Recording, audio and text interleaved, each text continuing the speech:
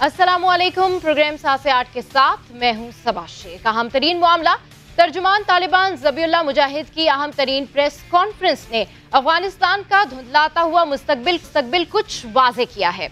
शेखुल हदीस हिब्तुल्ला ज़िंदा है और इस वक्त महफूज मुकाम पर है।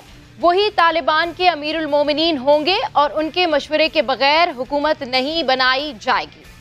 तर्जुमान तालिबान कहते हैं कि जल्द कौमी फौज तश्कील भी देंगे और हुकूमत की तश्कील के बाद कौमी परचम का मामला भी देखेंगे, क्योंकि इस मामले पर भी वहाँ पर काफ़ी एहतजाज हुआ था, क्योंकि इस्लामी इमारात के परचम और मौजूदा अफ़गानिस्तान के परचम मुख्तलिफ़ है, जिससे मुल्क की तमाम अहम इमारतों से उतार दिया गया है।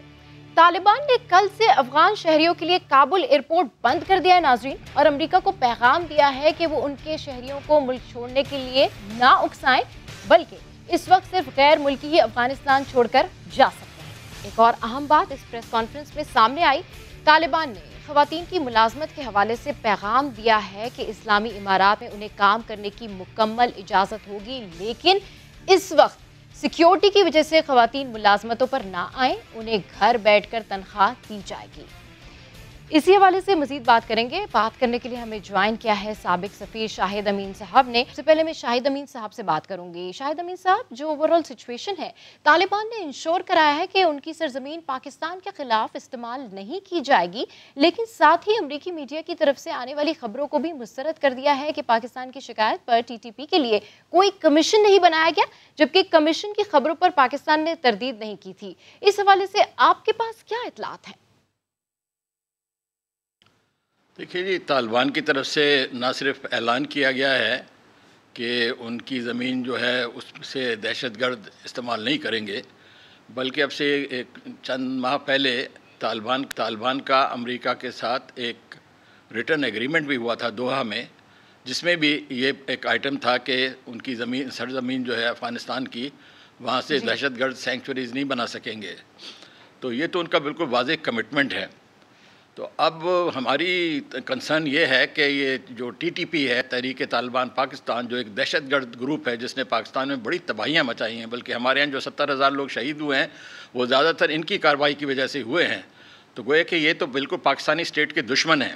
हम्म। तो इनकी वहाँ पे अफ़गानिस्तान में मौजूदगी के बारे में तो कोई शुबा ही नहीं है कि साल हर साल से वहाँ पे ये लोग मौजूद हैं और रॉ और दीगर इदारों की मदद से ही पाकिस्तान के ख़िलाफ़ दहशत गर्दी में इन्वॉल्व थे।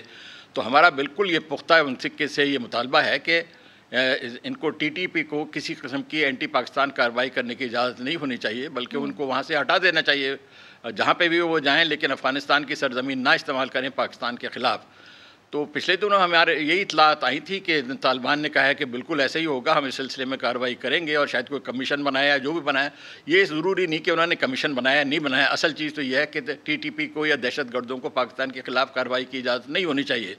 तो हमें पूरी इसमें इस सिलसिले में उम्मीद है कि ऐसा ही किया जाएगा। आपको अंदाज़ा ही है कि तालिबान के पाकिस्तान के बारे में काफ़ी दोस्ताना जज्बात हैं और हमारी एक तारीख भी रही है।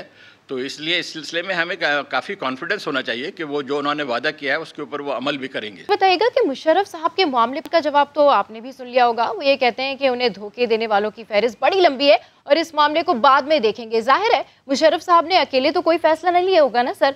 मुस्तबिल में तालिबान पाकिस्तान के लिए फिर से मसला बन सकते हैं, क्योंकि फ़िलहाल तो सबसे अच्छे ताल्लुकात रखना उनकी मजबूरी है, सर। शाहिद अमीन साहब, आप इस सवाल का जवाब दीजिएगा प्लीज़ मेरे ख्याल में बिल्कुल अननेसेसरी सवाल है। परवेज़ मुशरफ का अफ़गानिस्तान में सेंचुरी लेना या उनके ख़िलाफ़ कार्रवाई करने का कोई मंतक नहीं बनती वो कहीं दुबई में कहाँ बैठे हैं यकीनन उनका कोई इरादा नहीं कि अफ़गानिस्तान में आए ना तालिबान का कोई होगा मत, मत, ये मकसद के दुबई में या कहीं जाके उनके खिलाफ़ कार्रवाई करें। तालिबान के पास और ज़्यादा अर्जेंट इशूज़ हैं ये तो बिल्कुल एक इरेलीवेंट सी चीज़ है। तालिबान की इमीडिएट इशूज़ तो ये हैं कि अपने मुल्क में पूरी तरह से अपनी हुकूमत कायम करें और जो कुछ उन्होंने वादे किए हैं उनके ऊपर अमल करें और दीगर दुनिया के साथ अच्छे रवाबत कायम करें। मेरे ख्याल में ये खुदा जी नहीं कि हमारे किस चैनल ने ये परवेज़ मुशरफ का बिल्कुल इरेलीवेंट सवाल उठा के उसको एक इशू अच्छा, बना सर सर फ़िलहाल अगर हम इस सवाल के बारे में बात करें जैसे कि आप कह रहे हैं कि वो तो ऑब्वियसली दुबई में लेकिन उन्होंने अपनी प्रेस कॉन्फ्रेंस में ये मेंशन किया है कि जिन्होंने हमें धोखा दिया है उसकी लिस्ट बड़ी लंबी है। तो इन फ्यूचर किसी के लिए भी कोई तो हर्डल क्रिएट हो सकती है ना सर? जी हो सकती है यकीन ज़ाहिर है कि अगर वो समझ उनका मौका मिलता है तो जिन अनासर ने उनके खिलाफ़ कार्रवाई की है तो उनके बारे में यकीनन उनको नाराज़गी होगी और कुछ कार्रवाई भी शायद करें। लेकिन ये इमीडिएट इशू नहीं है। उनका इमीडिएट इशू ये है कि अपना अफ़गानिस्तान में तसलुत को पूरी तरह कायम करें अपना रिट कायम करें अमन अमान लाएँ सियासी समझौता करें जो नॉर्दर्न अलायंस है या नॉन पख्तून ग्रुप्स हैं उनके साथ कोई बामानी पॉलिटिकल सोल्यूशन किया जाए ये, ये तो वो भी अपनी प्रेस कॉन्फ्रेंस में कह रहे हैं कि अभी ये उनका इमीडिएट मसला नहीं है। अयाज वज़ीर साहब ने हमें ज्वाइन किया है उनसे सूरत हाल जानते हैं। सर एक तरफ़ तालिबान ने अफगानों के लिए मुल्क छोड़ने पर पाबंदी लगा रखी है तो दूसरी तरफ़ जी सेवन ममालिक इनखला में रुकावट ना मुतालबा कर रहे हैं। क्या मुतालबात मानने पर अफ़गानिस्तान पर पाबंदियाँ लगाई जा सकती हैं सर?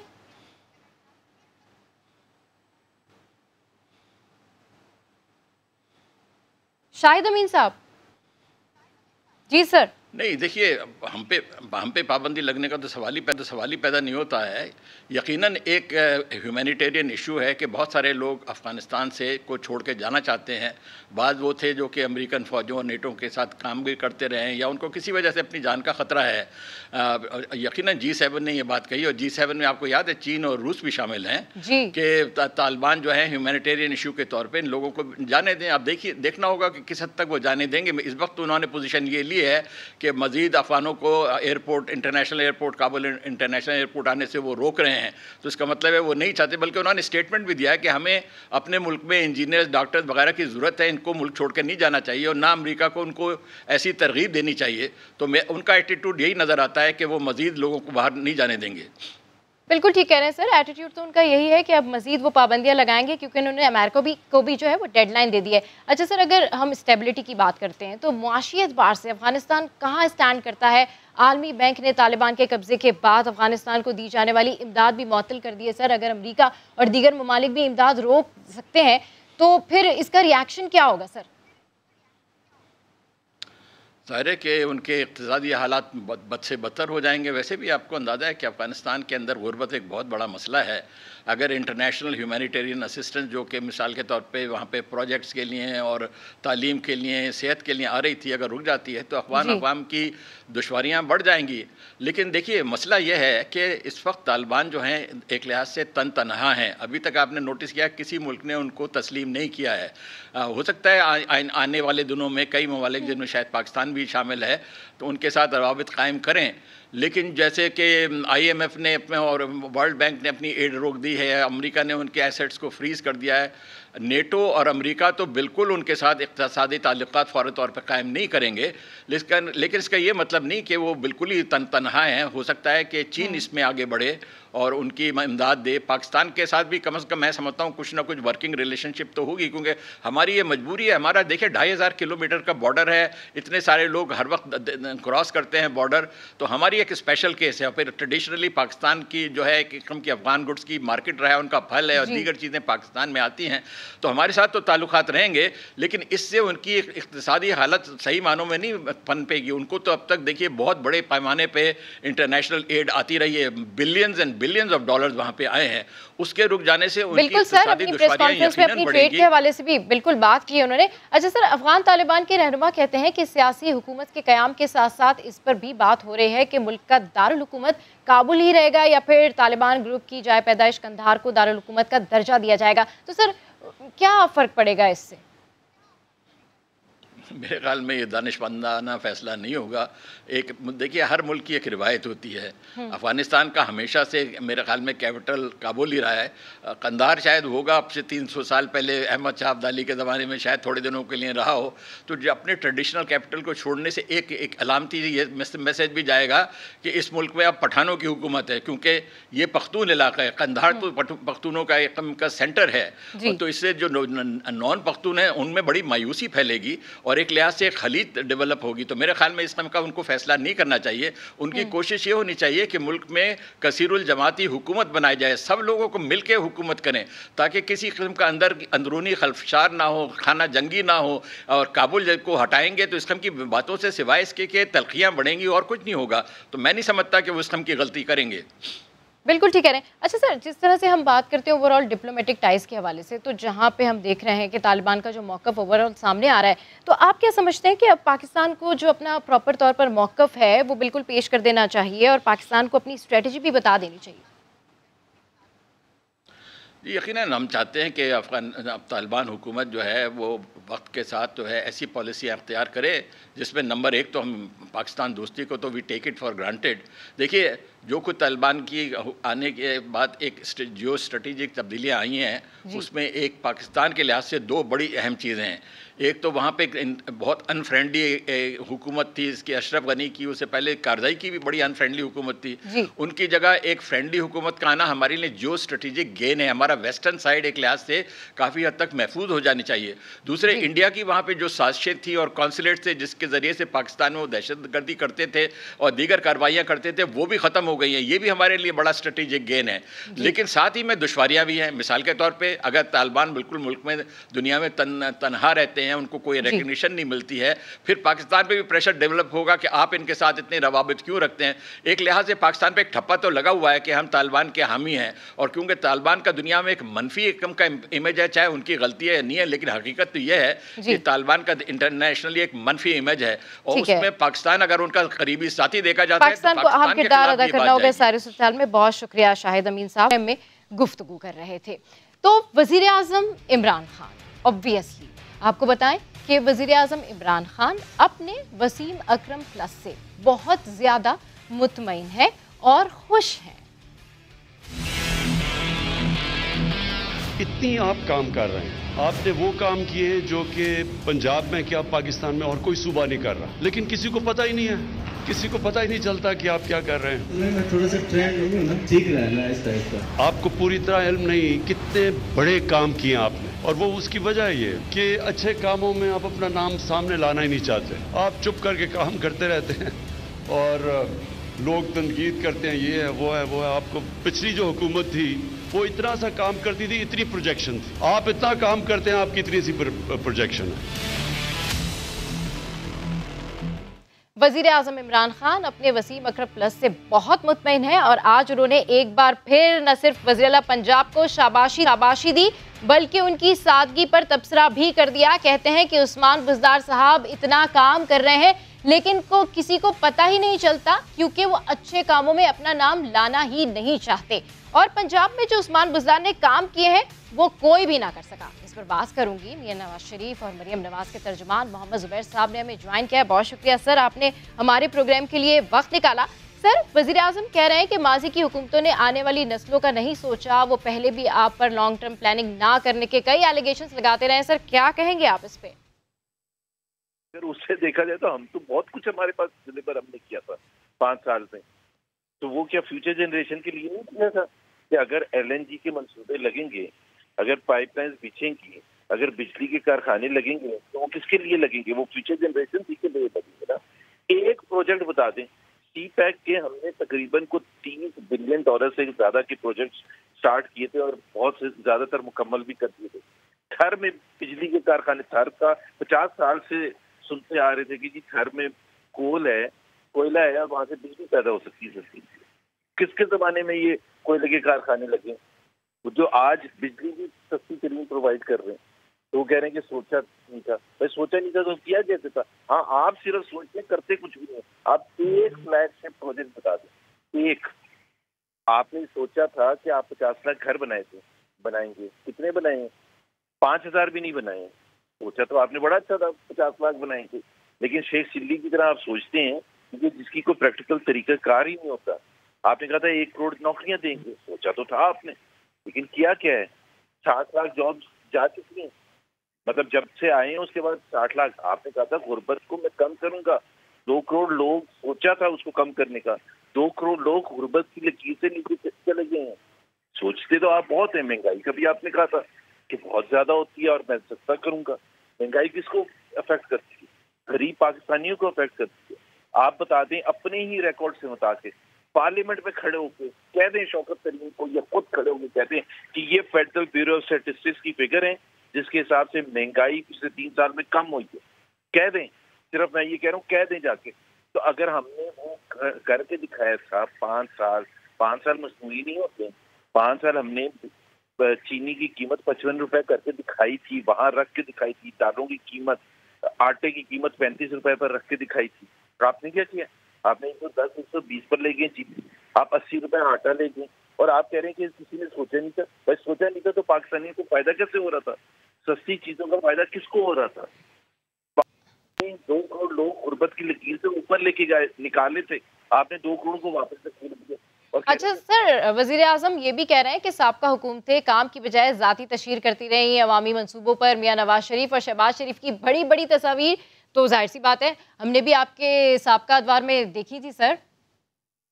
हमने थर में प्रोजेक्ट में कौन सी तस्वीरें लगाई थी? कितने बिजली के कारखाने थर में चल रहे हैं? कासिम कराची में दो बिजली के कारखाने हमने बनाए वहाँ कौन सी तस्वीरें लगी हुई मोटरवेज पर कौन सी तस्वीरें लगी हुई हैं सारे रोड नेटवर्क पर कौन सी तस्वीरें लगी हैं? रिंग रोड लाहौर है, उसमें कौन सी तस्वीरें लगी हैं? बता दें, हमारे ये है ना प्राइम प्रोजेक्ट और आपके जो एक हमने बनाया था ना रिंग रोड लाहौर में, जो वर्ल्ड क्लास है, दुनिया में किसी को बुला के बता दें कि ये हमने बनाया था नून लीग में। और आपने पिंडी में रिंग रोड बनाने की कोशिश की है। हमने बनाया था यहाँ फॉरेन ट्रेन का। कौन सी तस्वीरें लगी हुई हैं उसमें? हमने मेट्रो बनाई लाहौर में, हमने मुल्तान में मेट्रो बनाई, हमने पिंडी में और इस्लामाबाद में मेट्रो बनाई और एक आपने मेट्रो बनाई है वहाँ पेशावर में, मुवजना कर लें आप सोचते तो बहुत हैं, आपने सवा सौ बिलियन खर्च कर दिए पेशावर में, मेट्रो बनाने में। हमने उनतीस बिलियन में लाहौर बना जुबैर साहब जुबैर साहब, ये तस्वीर में साथ साथ दिखा भी रही हूँ कि कैसे अवामी मंसूबों पर पार्टी क्यादत की तस्वीर लगाई जाती है, लेकिन बहरहाल मैं फेडरल कैबिनेट के हवाले से आपका कमेंट लूँगी सर कि वज़ीर अजम बड़े खुश हैं कि उन्होंने काबीना में बहुत असलाहत की हैं। इस पर आप क्या कमेंट करेंगे सर थोड़ा आप काम करते हैं वो पूछते रहते हैं। पूरी टीम बैठ के सिर्फ़ साठ लोगों की काबीना सिर्फ़ सोचती है और सोचने में आपके फुल मार्क्स हैं, क्योंकि उसको हम चैलेंज कर ही नहीं सकते। आप फ्यूचर जनरेशन के लिए, पता नहीं कौन सी जनरेशन के लिए कर रहे हैं। अपनी जनरेशन के लिए कर रहे होंगे, बाकी अपने क्रोनिस की जनरेशन के लिए कर रहे होंगे, जैसे आपने शुगर में स्कैम किया, जैसे आपने एलएनजी में स्कैम किया, जैसे आपने आटे में स्कैम किया, जैसे आपने दवाइयों में स्कैम किया। हाँ वहाँ आपकी बड़ी फुर्ती नज़र आती है। इतनी फुर्ती नज़र आती है कि हुकूमत आए हुए एक महीना हुआ था, दस लाख चीनी चीनी एक्सपोर्ट करने का अप्रूवल भी दे दिया ईसीसी ने भी और काबीने ने इतनी फुर्ती किसकी वजह चले सर चले सर। उस्मान बुजार साहब के हवाले से प्राइम मिनिस्टर कहते हैं कि वो इतना काम कर रहे हैं लेकिन किसी को पता नहीं चलता क्योंकि बहुत ज़्यादा हम्बल हैं। उस्मान बुजार अच्छे कामों में अपना नाम ही सामने नहीं लाना चाहते और पंजाब में उस्मान बुजार ने वो काम किए जो इससे पहले कभी किसी ने नहीं किए। सर इस पे क्या कहेंगे आप? काम किए हैं तो लोगों को पता होना चाहिए ना जब वज़ीर आज़म खुद मान रहे हैं कि जी किसी को पता ही नहीं चलता वो इतने अच्छे काम कर रहे हैं। तो फिर जब वज़ीर आज़म को नहीं पता चलता कि वो कौन से काम कर रहे हैं तो फिर आम पाकिस्तानी को पंजाब वालों को कैसे पता चलेगा कि ये कौन से काम कर रहे हैं? कोई काम ही नहीं कर रहे हैं। बता देना। आप पिंडी रिंग रोड आता था ना बुजदार साहब के अंडर आता था ना? क्या है क्या हुआ है?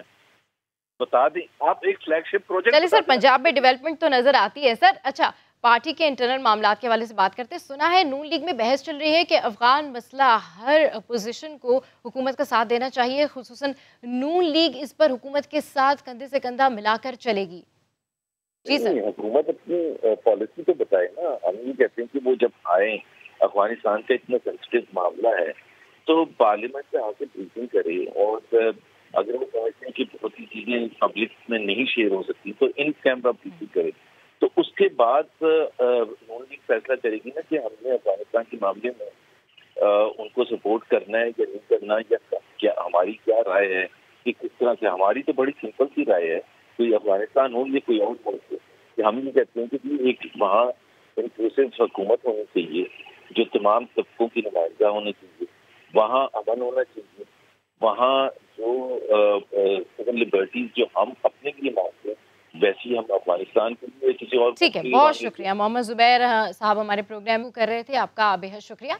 अब ज़िक्र करूँगी पाकिस्तान के पहले स्मार्ट जंगल का जिसका वज़ीर आज़म ने आज इफ्ताह कर दिया जो शेखुपुरा के पूरा के रख जोग जंगल में बनाया जा रहा है। इंतहाई इम्पोर्टेंट खबर है इंतहाई इम्पोर्टेंट मामला है पाकिस्तान में डेवलपमेंट आ रही है। और ये रावी रिवर प्रोजेक्ट का हिस्सा है। वज़ीर आज़म कहते हैं कि हमारा स्मार्ट लॉकडाउन भी मिसाली था, स्मार्ट जंगल भी मिसाली होगा। एक करोड़ दरख्त लगाए जाएँगे, फलों के बागात और साथ साथ बॉटनी गार्डन, परिंदों की पनागाहें, वॉकिंग ट्रैक्स भी बनाए जाएँगे। सोच के कितना अच्छा लग रहा है। टेक्नोलॉजी की दुनिया का बड़ा नाम चीनी कंपनी हुआवे को इसमें पार्टनर भी बनाया गया है। जंगल में सेंसर लगाए जाएँगे ये एक बड़ी अच्छी बात होगी। जदीद टेक्नोलॉजी से पौधों की नशोनुमा भी मॉनिटर हो सकेगी और साथ ही ऐसे सेंसर्स भी नस्ब होंगे, जिससे पता चल जाएगा कि कहाँ पर दरख्त काटा जा रहा है। आयशा अता दिखा रही हैं कि ये सारा सिस्टम जो है, वो कैसे अपग्रेड होगा, कैसे चलता है? पहले ये रिपोर्ट देखते हैं, फिर इस पर डिस्कस करते हैं। जी बिल्कुल, इस वक्त मैं मौजूद हूँ रक चौक जंगल के पास, जिसका इफ्तः वज़ीर आज़म इमरान खान साहब ने आज एक पौधा लगाकर किया है। और यहाँ पर चौबीस हज़ार के नाल अराजी पर मुहित ये जंगल जो है वो लगाया जा रहा है और कहा यह जा रहा है कि तारीख की सबसे बड़ी शजरकारी जो है वो यहाँ पर होने जा रही है, क्योंकि यहाँ पर एक करोड़ पौधे लगाने का हदफ जो है वो लिया गया है। अभी चूँकि ये स्टार्ट है तो चंद एक पौधे जो है वो यहाँ पर हमें नज़र आएँगे। लेकिन आने वाले दिनों में, बल्कि छह माह के अरसे में जो बताया जा रहा है कि हदफ जो है एक करोड़ करोड़ पौधे लगाने का ये कंप्लीट कर लिया जाएगा। जिस जगह पे इस वक्त मैं मौजूद हूँ, यहाँ पर मेरे एक साइड पर दरियाए रावी का किनारा है और लाहौर जो है वो लगता है। और अगर दूसरी जानब दरियाए रावी के किनारे के देखें तो शेखुपुरा का जो है वो इलाका आता है और दोनों ही साइडों के ऊपर ये शजरकारी मुहिम जो है वो इसका आगाज़ किया जाएगा और ये जंगल जो है वो दोनों साइडों पर ही लगाया जाएगा। जंगल की खास बात यह है कि यहाँ तीस से जायद इकसाम के पौधे लगाए गए हैं, जिनमें पीपल कीकर बोर्ड इसके अलावा मौसमियाती फल जो है वो यहाँ पर लगाए गए और इनको मियावाकी जंगल की तर्ज पर लगाया गया यानी जपनीज टेक्निक जो होती है, जिसमें छोटे पौधे छह से सात माह के अरसे में बड़े घने दरख्तों में जो है वो नज़र आते हैं। पौधों के दरमियान छह छह फुट के फासले पर कुछ सेंसर जो है वो लगाए जाएँगे और वो तीन तरह की डिटेक्शन जो है वो करेंगे। पहले नंबर पर ये फायर के बारे में जो है वो बताएँगे। अगर खुदा ना खास्ता जंगल में कोई आग लग जाती है तो उसके बारे में ये बताएँगे। साथ ही साथ अगर स्मोक होती है, और जैसा कि आप देख देखते हैं कि लाहौर में जैसे ही मौसम सरमा जो है वो शुरू होता है तो स्मोक के बादल जो है वो गहरे हो जाते हैं और लाहौर का नंबर जो है वो टॉप पे होता है। तो आलूदगी के लिहाज से स्मोक को जो है वो ये देखने के लिए कि एयर क्वालिटी इंडेक्स क्या है, ये सेंसर जो है वो भी बताएँगे। साथ ही साथ फ़िज़िकल अपेयरेंस जो कि मोस्टली जंगलों में होती है कि कोई भी शख्स आता है, अपनी टीम के साथ आता है और दरख्तों को जो है वो काटता है और उसके बाद इनको ले जाता है। तो ये तीन तरह के सेंसर्स जो है वो यहाँ पर बताएँगे मालूम जो है वो फ्राहम करने के अलावा ये भी बताया जा रहा है कि ये एक कमांड कंट्रोल रूम होगा जिसमें ये सारी की सारी इंफॉर्मेशन जो है वो इकट्ठी की जाएगी। इसके अलावा एक ऐप भी बनाई गई है जिसे पौधों के दरमियान जो है वो लगाया जाएगा और वो ऐप बताएगी कि इस पौधे की ग्रोथ जो है वो कितनी हो रही है, इसकी ग्रोथ रुकी हुई है या इसकी ग्रोथ जो है वो हो रही है, इसको कितना पानी मिल रहा है, ज़रूरत से ज़्यादा मिल रहा है, कम मिल रहा है। ये पौधा जो है वो सूख रहा है और कितना सूख रहा है, अब इसकी अब इसकी निगहदाश्त है, वो किस तरह से होनी चाहिए तो ये सारी चीज़ें जो है वो एक स्मार्ट टेक्नोलॉजी के ज़रिए से जो है वो बताई जाएँगी। इसी पर बात करने के लिए रावी रिवर प्रोजेक्ट के एग्जीक्यूटिव डायरेक्टर काशिफ कुरैशी मेरे साथ मौजूद हैं। बहुत शुक्रिया सर आपने हमारे प्रोग्राम के लिए वक्त निकाला। सर मैं बहुत ज़्यादा एक्साइटेड हूँ और हर पाकिस्तानी आज बहुत ज़्यादा एक्साइटेड है। इस हवाले से कि स्मार्ट जंगल जो है, वो बनाया वो बनाया जा रहा है, उसका अफ्ताह किया गया है। सर ये बताएगा कि ये कितने किनाल पर मुहित जंगल है? कितनी लागत इस पर आ रही है? कितने लोगों को रोज़गार मिलेगा? और सालाना बजट का तखमीना कितना है sir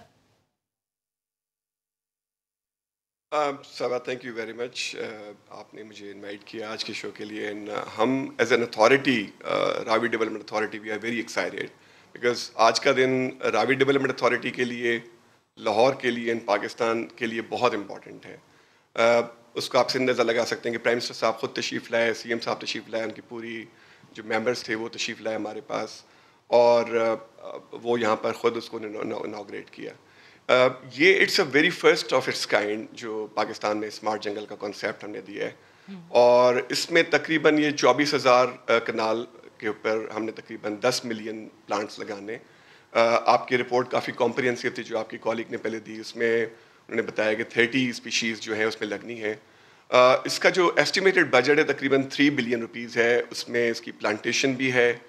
इसमें जो मुख्तलिफ़ फ़ीचर्स हम लेकर आएँगे जो मुख्तलिफ़ पार्क्स इसमें बनेंगे बॉटनिकल गार्डन है हनी गार्डन है बटरफ्लाई गार्डन है मुख्तलिफ़ किस्म के जो हम गार्डन्स लेकर आएँगे वो उसके अलावा कुछ झीलें हैं उसमें इसका वॉकवेज़ हैं तो तमाम किस्म की जो डेवलपमेंट हो रही होगी उसकी अप्रॉक्सीमेट कॉस्ट तकरीबन तीन बिलियन है।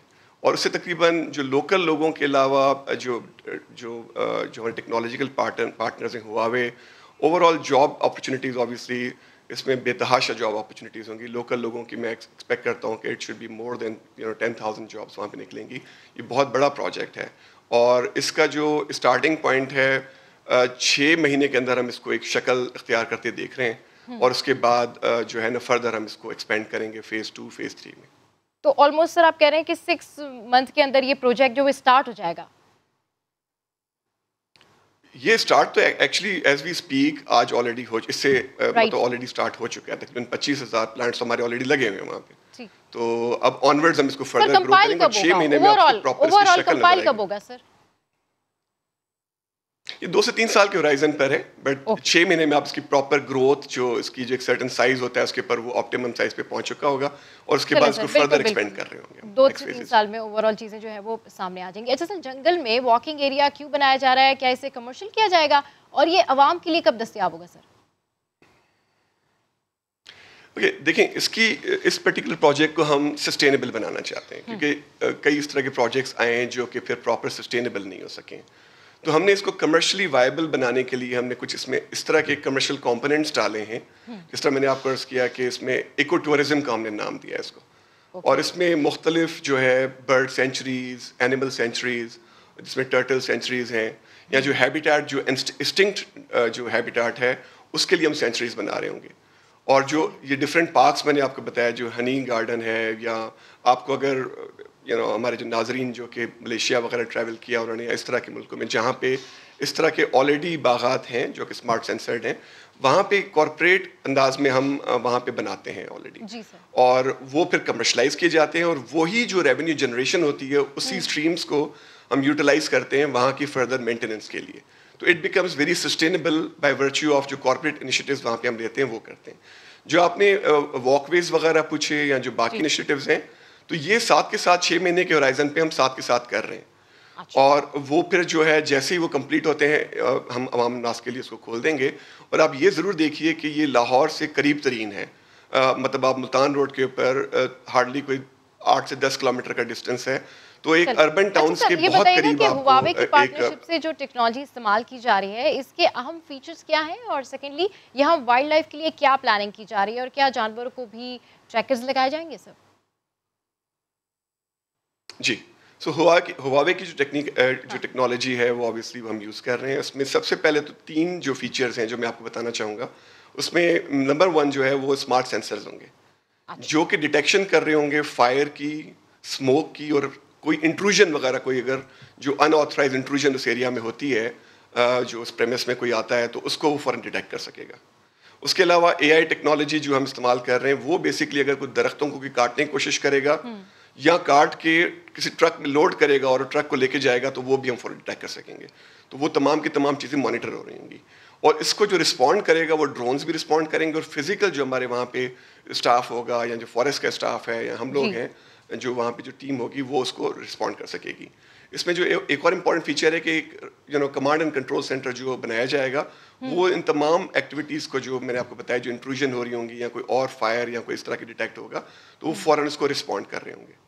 और सबसे जो इम्पोर्टेंट फीचर है वो ये है कि यहाँ पे जितना भी जो ग्रोथ हो रही होगी लिटरली फ्रॉम द इंसेप्शन जब आप प्लांट लगाते हैं से लेके इसके बढ़ने और इसकी अगर कोई जनरेशन जो प्रॉपर ग्रो होती है वो वो तमाम जो है ना वो हम मॉनिटर कर रहे होंगे। ये एक हमने ऐप वहाँ पे एप्लीकेशन जो है ना डिज़ाइन की है जो कि वहाँ apply बहुत शुक्रिया काशिफ कुरैशी प्रोग्राम में गुफ्तगू कर रहे थे। तो नवाज़ शरीफ की तरह उनके नवासे भी गाने के शौकीन निकले। और पहले आपको दिखाते हैं इनकी सिंगिंग और फिर इस पर मजीद करते हैं बात। याद है मुझको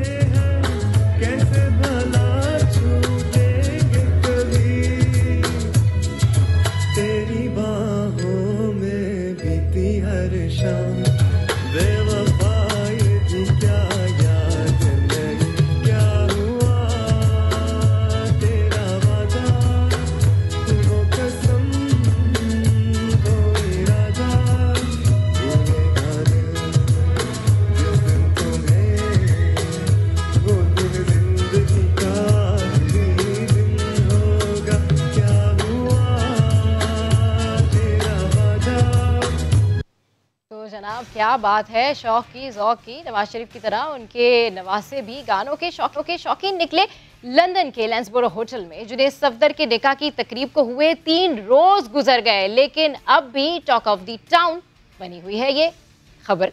ये बात कि वो सिंगिंग कर सकते हैं और अच्छी सिंगिंग कर लेते हैं। एक नई वीडियो वायरल हो रही है, जिसमें दूल्हा जुनेद बेगम के साथ बैठे गुलकारी करते नज़र आए। अगरचे प्रोफेशनल सिंगर को हायर किया गया था। भारतीय नजाद बरतानवी सिंगर नवीन कुंजरा की खिदमात भी ली गई थी। लेकिन जुनेद ने भारतीय फ़िल्म का गाना सुनाया और सब उनकी दिल फरेब सिंगिंग से शॉक्ड रह गए। दुल्हन ने भी खूब इंजॉय किया। आर्ट एंड म्यूज़िक से शरीफ फैमिली की वाबस्तगी। कोई आज की बात तो नहीं है। नवाज़ शरीफ साहब तो अपने मुँह मियाँ मिट्टू के मिजाक खुद को मोहम्मद रफ़ी जैसा सिंगर दे चुके हैं। जी हाँ जोश खिताबत में अलामा इकबाल और हबीब जालिब की नज़में सुनाने वाले शहबाज शरीफ साहब भी कई बार अहमद रुशदी का गाना गाकर महफिल लूट चुके हैं। गो के हमजा शहबाज ने भी वालिद को कॉपी किया लेकिन मुतासर नहीं कर सके। जुनेद सफदर को ये टैलेंट कहाँ से मिला? इस पर मुझे मरियम नव, मरियम नवाज़ को पाकिस्तान की अरतल गाजी करार देने वाली हिना परवेज भट्ट साहिबा का वो इंटरव्यू याद आ रहा है जिसमें उन्होंने इंकशाफ किया था कि मरियम नवाज़ गाना बहुत अच्छा गाती हैं और सिर्फ़ गाना ही नहीं, बल्कि ढोलक भी बहुत अच्छा बजाते हैं। प्रोग्राम में वक्त हुआ एक ब्रेक का स्टे विद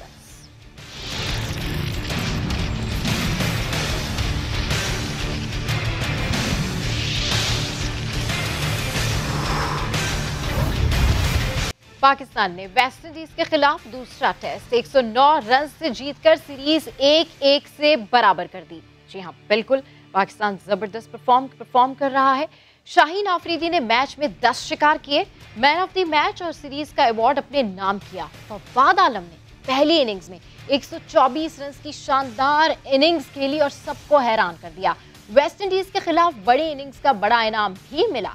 नई टेस्ट रैंकिंग में फवाद आलम ने करियर बेस्ट इक्कीसवीं पोजीशन हासिल कर ली है। याद आ रहा होगा आप लोगों को, ये वही फवाद आलम है। कप्तान बाबर आज़म आठवीं से सातवीं नंबर पर आ गए। शाहीन आफरीदी, शाहीन शाह आफरीदी को करियर बेस्ट आठवीं पोजीशन मिल गई। जबकि साथ ही इस पता के बाद कौमी टीम के कप्तान बाबर आज़म ने एक और रिकॉर्ड अपने नाम कर लिया। अगर बतौर कप्तान हम बात करें तो छह टेस्ट मैचेस में ज़्यादा कामयाब हासिल करने वाले तीसरे कप्तान भी बन गए हैं। शाहीन शाह आफरीदी भी पाकिस्तान की जानब से दो टेस्ट मैचेस की सीरीज़ में सबसे ज़्यादा विकेट्स हासिल करने वाले फास्ट बॉलर बन गए हैं।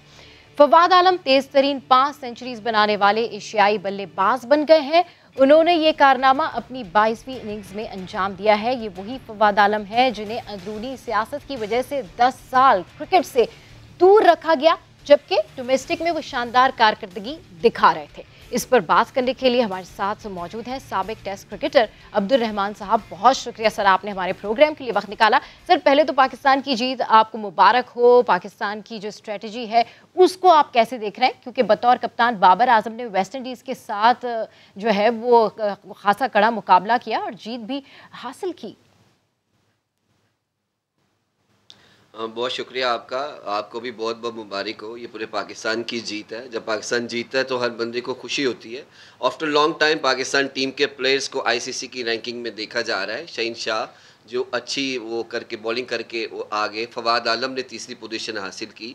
तो ये बहुत अच्छी बात है पाकिस्तान क्रिकेट के लिए। और ऐसे ही डोमेस्टिक में जैसे फवाद आलम ने अपने पिछले दस साल गंवाए ग्यारह साल। उसके बाद उसको चांस मिला और उसने पूरी दुनिया को बताया है कि ये डिज़र्व करता था पहले भी और अब भी। और उसने अपनी चीज़ों को इम्प्रूव करके सारी दुनिया के सामने मनवाया कि पाकिस्तान के बेस्ट प्लेयर दुनिया में मौजूद है कि जो परफॉर्म करके पाकिस्तान का नाम रोशन कर रहे हैं। तो ऐसी चीज़ें आनी चाहिए तो, लेकिन जो सवाल है कि पाकिस्तान के जो टॉप ऑर्डर्स हैं उनसे इतना अच्छा परफॉर्म नहीं हो रहा लेकिन सर ये हमेशा से ये सवाल है कि टॉप ऑर्डर हमारा परफॉर्म क्यों नहीं करता? सर फवाद आलम की बैटिंग की तारीफ़ हर शख्स कर रहा है लेकिन उनके 10 साल जाया होने का जिम्मेदार कौन है? सर कहा जाता है कि वो भी क्रिकेट की अंदरूनी सियासत का शिकार हुए थे।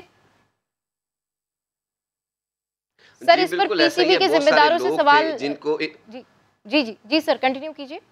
जी जी होना चाहिए एक प्लेयर जो पाकिस्तान को 10 साल सर्व कर सकता था जो अभी भी इतने रिकॉर्ड्स बना रहा है तो ये 10 साल पहले होता है तो इसके कितने रिकॉर्ड्स होते बहुत सारे लोगों को प्रॉब्लम थी कोई कहता था इसका स्टांस अच्छा नहीं है ये खड़ा ऐसे होता है अब ये वही फवाद आलम है कि जो दुनिया में अपने नाम को मनवा रहा है अब हम्म। पूरी दुनिया के टॉप टेंस में अब नंबर तीन पे है तो ऐसी चीज़ें जो अपने अपने अंदर लेके इंसान चलता है तो उसको जब दुनिया के सामने आता है तो वो पता चलता है कि ये बिल्कुल होना चाहिए कि ऐसे हम्म। बहुत सारे और भी प्लेयर्स हैं कि जिनका कैरियर पीसीबी के जिन सेलेक्टर्स ने जो लाइकिंग डिसलाइकिंग में उनका ख़राब कर दिया कि जो पाकिस्तान के लिए नुकसान था। लेकिन हो कि इन चीज़ों पे आगे कंट्रोल होना चाहिए कि जो हम्म। पाकिस्तान डोमेस्टिक में जो फोर डे क्रिकेट में परफॉर्म करते हैं उनका पहले हक बनता है। लेकिन अब जो पाकिस्तान में जो चीज़ें चल रही हैं कि वो टी ट्वेंटी से सेलेक्ट करते हैं टेस्ट क्रिकेट का प्लेयर और उसको स्टेट में टेस्ट खिलाया जाता है। लेकिन उसकी परफॉर्मेंस पाकिस्तान पीएसएल में या डोमेस्टिक टी ट्वेंटी में। अच्छा, तो उसको उस उस उसी उसी टनोर अच्छा ये बताएगा कि शाहीन शाह अफरीदी का वसीम अकरम के साथ मवाजना किया जा रहा है। क्या ये दुरुस्त है? वाकई शाहीन शाह मुस्तकबिल के वसीम अकरम साबित होंगे? कह तो सकते हैं लेकिन वसीम भाई जैसा बॉलर आपको पता है दुनिया के वन ऑफ़ द बेस्ट सुल्तान है स्विंग के। तो वसीम भाई तो एक एक ही हैं पूरी पूरे पाकिस्तान के लिए लेकिन शहीन शाह की अपनी परफॉर्मेंसेज है। लेकिन जैसे ये परफॉर्म कर रहे हैं अपने मुल्क के लिए और अपने हम्म। लिए पाकिस्तान को इससे जीत भी मिल रही है। तो ये अपने लिए रिकॉर्ड बना सकते हैं। वसीम भाई की एक अपनी जगह है कि वो एक दुनिया में उनका मकाम है उनकी परफॉर्मेंसेज हैं। लेकिन हर बंदे का अपना रोल है जो पाकिस्तान खेलता है। उसका अपना रोल है कि आई होप के शहनशाह की परफॉर्मेंस ऐसे ही रहे और आगे इनका अपना नाम दुनिया में और रोशन हो भी ये नंबर सेवन एट पे नंबर वन दुनिया के बॉलर बने। तो डे बाय डे परफॉर्मेंस के बाद इंसान की परफॉर्मेंस पे वैसे भी निखार आता जाता है।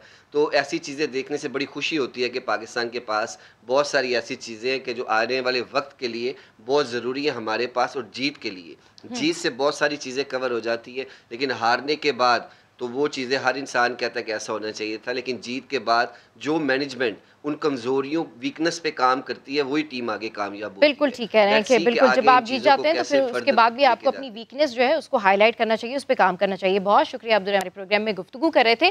तो कल हमने केएमसी के अफसरान के शानदार सरकारी बैंगलोर से मुतालिक रिपोर्ट पेश की थी।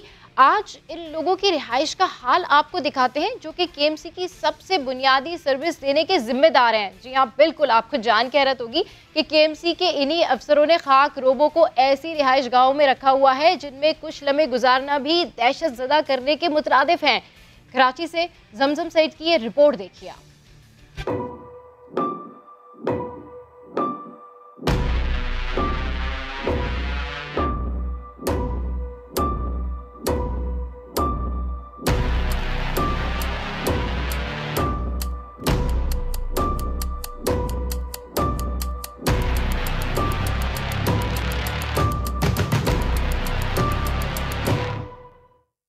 खंडरात के पास से गुजरते हुए भी खौफ आए। वहाँ कुछ लोग अपने जिगर के टुकड़ों के साथ बसते हैं, और लोग भी कौन जिन पर पूरे कराची को सवारने का जिम्मा है? जी हाँ केएमसी ने शहर को सबसे बुनियादी सर्विस देने वाले खाकरोबों को इन्हीं खंडरों में बसाया हुआ है।